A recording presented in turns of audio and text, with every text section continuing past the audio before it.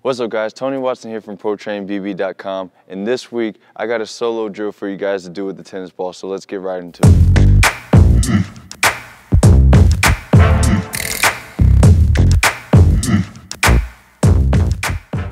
Alright, so for the tennis ball drill today, you're going to be stationary in your stance the entire time. You need one basketball and one tennis ball.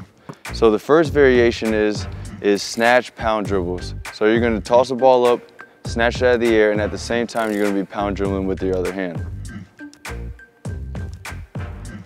The next variation is toss-ups with one hand moves. So the one hand moves that you're going to do is a V dribble and an in and out and the entire time you're gonna be low in your stance and you're gonna try to do that V dribble or that in and out before the ball comes back down. So you'll toss the ball up, you'll do your V dribble or your in and out, whichever one you wanna do first, and then you'll catch the ball after you do that move and you'll continue to do that.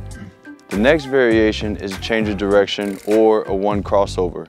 So you'll toss the ball up, you'll do a crossover, and then you'll catch it with the other hand. And the three variations for that is a crossover, a between the legs, and a behind the back.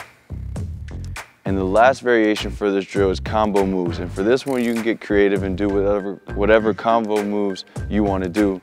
So you can go between the legs, behind the back, you can go between the legs, crossover, you can do a double crossover, whatever you want, but mix it up and do a few reps of each move so that you're comfortable doing that move with the tennis ball. So after you don't have the tennis ball, basically, you're very comfortable with doing those moves in the game with live defense on you. But I'm gonna cut and I'm gonna go full speed and show you guys a few times.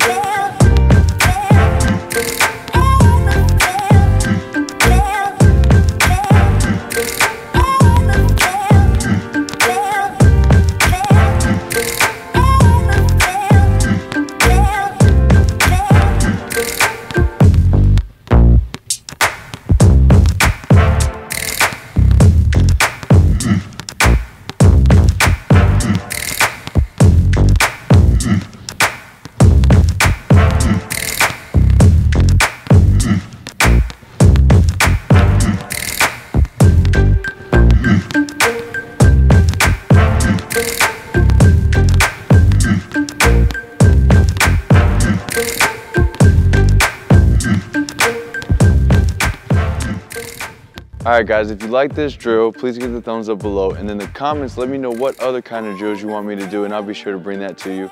And also if you want to see more tennis ball drills, check out this link right here and make sure you share and subscribe to the channel and I'll see you next Monday for a new video. Peace.